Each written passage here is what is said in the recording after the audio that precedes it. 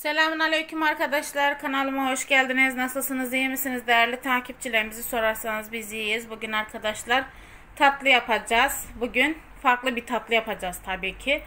Tatlımız böyle Kemal Paşa tatlısı arkadaşlar. Ama ben bunun poşetini attım. Şu paketlerde olan Kemal Paşa tatlıları var ya ondan arkadaşlar. Üstündeki tarife göre ben bunu ilk defa yaptım bu tatlıyı. Üzerinin muhallebis, muhallebisini biliyorum ama bu e, şerbetli falan nasıl yapılıyordu onu bilmiyordum. Üzerindeki tarife göre yaptım. Şerbetini ayarladım. içine de attım. Şerbetini çektikten sonrasında böyle borcama dizdim. Muhallebisinde de arkadaşlar 1 litre süt var. Ee, bir su bardağı diyeyim yani şeker bir su bardağına az bizimkiler fazla şireli sevmediği için ben fazla şekerli yapmıyorum çünkü tatlının altı da şerbetli olduğu için fazla şire koymayacağım ben. 3 yemek kaşığı un var. Ee, bir tane şekerli vanilya var. Şurada biraz tereyağı var. Rümeysa'nın tereyağı ondan da katacağım parlak olsun diye. Ve 2 yemek kaşığı da nişasta koyacağım arkadaşlar. Şimdi hemen şöyle tripodumu alayım.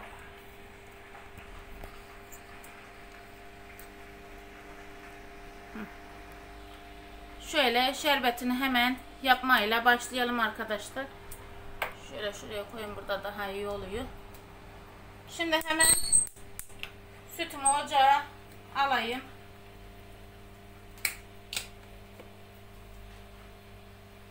Bunu da ne zamandan beri yapayım yapayım diyordum arkadaşlar. Bir türlü fırsat bulamadım.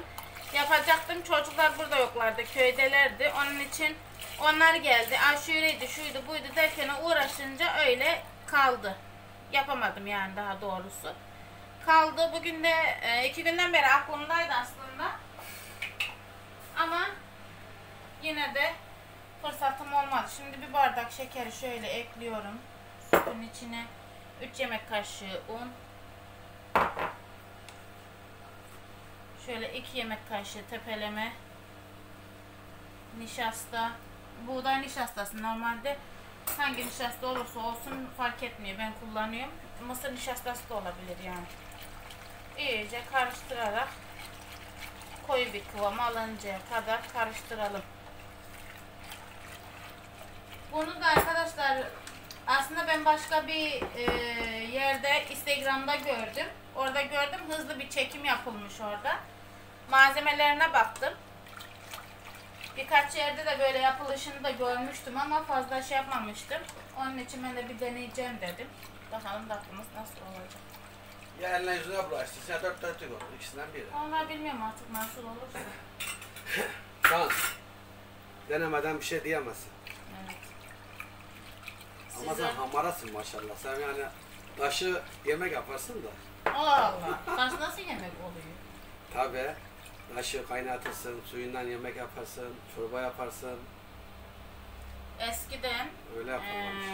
Ee, öyle onu bilmiyorum da rahmetlik nenem, annemgil çocuklar ya Hı. ufaklar. Ee, annemgil acıktık diye ağlarlarmış. Vay rahmetlik neneceğizim. Suyu kaynatmış kaynatmış. Bakmış hiçbir şey bulamamış. Getirmiş işte biraz da şey koymuş içine. Mu? Ee, bulgur. Bulgur öyle çorba gibi yani. Bulgur koymuş getirmiş alın yavrularım yiyin demiş. Anam diyor biz biliyoruz diyor yani yağsız tuzsuz yemek. Ama diyor anam üzülmesin diye diyor onu diyor yedik diyor gece öyle diyor karnımız doydu diyor. Eskiden çok yokluk varmış ama arkadaşlar gerçekten ama Huzur vardı, mutluluk vardı. sağlık, mutluluk varmış. Ama şimdi her şey elin altında. Fazla yokluk çeken yok. Ee, az da olsa karnımızı doyuruyor çok şükür Allah bundan geri koymasın ama e, yani şimdi belki e, çok şükür bizim evimizde huzur, mutluluk şey var ama e, sağlık o her insanda geçerli değil. Allah'ın verdiğine bir şey diyemezsin. Ama çoğu insan aynı sofraya oturup Allah'tan yemek gelsin. bile yiyemiyorlar yani. Yani Öyle dert gelecek huzurları yok. Buradan gelmez. Var yani ben gözümün gördüğü bir tane tanıdığımız var. İsim vermeyeceğim. O da benim videolarımı ara sıra izliyor. Faz- e, çalıştığı için fazla fırsat olmuyor. Ama akşamları mutlaka bakıyorum diyor. Bilmiyorum. Çalışıyorlar karı koca. Akşam aynı sofrada oturmak yok. Oturup beraber mesela biz her akşam yemeğimizi yiyince eşimle beraber çayımızı mutlaka içeriz. Ama onlar da eşinde beraber oturup da çay içme falan yok. Adam yemeği yiyor. Bazen yemiyor bile. ne, Çıkıp gidiyor mesela. Yatıyor. Kad, kadın da saat 10 dedi mi yatıyor yani. Bu herkes için geçerli değil yani. Arabamız? He he. Ne desen? Horoz da ötüyor gene. Horoz, horoz benim e, şey video çekmemi bekliyor. D- Dün müydü? Hül- Hülya mıydı? Sevil miydi? Biri demiş. O da demiş artık öğrendi video vakti ne zaman demiş. O da demiş ötüyor kendini gösteriyor. Buradan e, sevindim yani gene Allah yardımcısı olsun. Aile şifalar versin Gül ablamızın yani. He, eşi Kocası da çıkmış, çıkmış çok yani. şükür. He. Elhamdülillah yani iyiye gidiyormuş. Hatta buradan Ceyhan'daki işte o Suha Yemez abimizin hanımı da çıkmış maşallah. Bir sadece ciğerlerinde Oksijen. o, okşen şey yapamamış. Okşen işte 3 saatte bir okşen alacak. O gün gittim cihazlarını işte priz yaptım. Sadece priz istedi. Ayrı istemişler. O oksijen e, ne zamana kadar devam edecek? Yani Öyle düzelene kadar. He, düzelene kadar yani. Şey, ömür boyu değil. Sürene 3 saatte bir sene alacakmış. Hmm. Yani onu gibisine Normal servisteymiş arkadaşlar ama doktor demiş artık korkacak bir şey yok eve çıkartabilirsiniz demiş. O gün kız aradı beni. Abla dedi priz yapılması gerekiyor dedi. Hatta abi dedi gelip yapabilir mi dedi. Resmini çekmiş atmış Whatsapp'tan. Ben de eşime gösterdim. Sade zaten hemen klimanın altındaki yerdeymiş. Klimalı odaya koyacaklar galiba. Hava çok sıcak burada. Onların evi yüksek biraz serin ama yine biraz de da tam serin. Ama Hüseyin abin yanıyor. Daha bu etkisi var üzerinde. He, Affetsin. Dakika başı lavaboya gidiyor. Zavallı, Yani işte. Dakika başı üstünü çıkarıyor. Hatta şeyi düşürdü. Hayır dedim işte yanıyorum kardeş dayanamıyorum diye yani. Ya o Hüseyin abi Allah var. Nerede bir cenaze var, nerede bir şey var her yere gider yani. İster tanısın ister tanımasın her yerden haberi olur. Ben gizli istihbarat diyorum ona. Eşim e, ne olduydu? E, Bir şey olduydu da eşim e, e, Beğendi. haberi olmuş. Ceyhan'a yaymış demiş Halit evde hasta yatıyor diye. Arayan arayan bir vakti eşimin telefonu susmadı. Ne oldu ne oldu ne oldu ne oldu. Bu Anju'dan önceydi o. Da o zaman vlog kanalımız yoktu herhalde değil mi? Vardı ya da böyle derler. Yani biz belli etmiyorduk yani. He. O Yok zaman şeyde işte o baş, baş parmağım kırıldığında o sıçın yok He. şeyde yani. He, Yok, sağ Halit, olsun, yok hani. evde demiş hasta yatıyor sizin haberiniz yok. Haberin var mı? O demiş ne oldu o demiş ne oldu. Demiş böyle böyle. İtikatlı yani sağlam He. Müslüman bir yer abimiz yani. Hiç e, bayanlara e, gözüne bakarak konuşmaz. Yönüne öteye çevirerek konuşur. Hanım Leyla abla da öyle Allah var. Yani farklı bir insanlar. Allah razı olsun. Arkadaşlar şeyimizin kıvamı bu şekilde olacak. Zaten bu donuyor. Bu neye benzedi biliyor musun? Ee, Eskiden bunu anamgil e, ben iyi hatırlıyorum Emre'ye mama mama mama mama. e, doğum yaptığında Doğumda şey- anamız anamız yani verirdi yani mama olarak biz yani bebeklere verirdi böyle kaşıkla. Biz sever bayılırdık buna yani. Ha mesela bunu dök tepsiye şey yap hani şey geliyor oluyor. Lokma gibi oluyor yani. Vay, Anam doğum yaptığında bunu getirdiler. Anam yiyeceğine ben yediydim o zaman. vay camuş vay. O zaman bekmezli yapıyorlardı bir de bunu. Ya şeker ne bekmez Zaten oluyor. nişastayla yapıyorlardı. Bir de köy nişastası. Yavrum tamam yani sen de koyabilirsin yani şe- yani şerbet yerine şire yerine bal koyuyor, bekmez koy yani. Şeker yerine daha doğrusu. Ya da tencerenin dibine ben sıyırayım bari.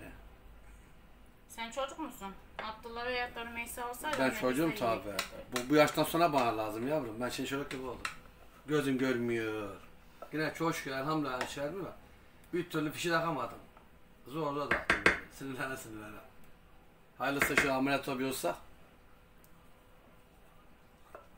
Bir tane şey olsaydı. plastik niye almıyor? Silikon. Vardı, kırıldı. Oy oy hanım. Yaşlandırdım ben yavrum.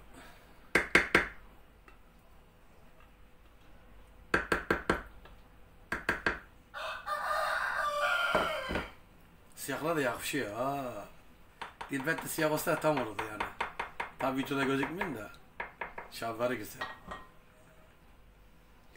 Sana bir ma- inşaat malası alayım. Ufak var ya, ufak inşaat malası var. Çok komik. Vallahi diyorum bak ufak şan malası var inşaat ufacık böyle kibar. Çizgiler kullanıyor. Ama temiz sıfırını alacağım yavrum. Arkadaşlar bunun üstüne Hindistan cevizi de dökebilirsiniz. Ceviz bunun de üstüne atabilirsin. ceviz de atabilirsiniz. Bisküvi de kırıp e, Antep fıstığı da atabilirsiniz. koyabilirsiniz. Her türlüsünü koyabilirsiniz ama krem şanti de katabilirsiniz. Bunu Oraya yamuk iyice- oldu. Ha? Köşe yamuk oldu. Olsun bir şey olmaz. Ee, bunu mesela şey yaptıktan sonra soğuduktan sonra donduktan sonra iyice tam soğuduktan sonra ama ılık bile olmayacak çünkü krem şanti üstünde eri. Krem şanti de yapıp üstüne de dökebilirsiniz. Öyle de güzel olur, böyle de güzel olur. Tam benim işim ha mala işi. Gel de yap. Getireyim spatulayı? Sana Emre bu spatula da aldım. Hepsini aldım. Almadım da biliyorsun. Allah bilir nerede bilmiyor yani yerinde. Üf, kırıldı diyorum, kırıldı. Malay demiyorum spatula dedim ben. Tamam kırıldı. Arkadaşlar tatlımız bu şekilde oluyor. Üstüne dilediğinizi yapabilirsiniz. Ben bakacağım artık çocuklar şeyi sevmiyorlar. Hindistan cevizini sevmiyorlar. Ee, krem şantiyi de fazla sevmiyorlar. Krem şantiyi de sağ olsun eşim sevmiyor. Antep fıstık. Artık bisküvi ufalar, bisküvimi ufalarım üstüne dökerim. Veyahut da antep fıstığı mı atılır bilmiyorum. Ne olursa. Şöyle yakından hemen. Şöyle göstereyim. Tatlımız bu şekilde oldu arkadaşlar. Altında da şeyler e, Kemal Paşalar şöyle gözüküyor. Çok az gözüküyor. Tatlımız bu şekilde arkadaşlar. Yapmak isteyen arkadaşlara kolaylıklar diliyorum. Beni izlediğiniz için teşekkür ederim. Bir sonraki videoda görüşmek üzere. Allah'a emanet olun. Hoşça kalın.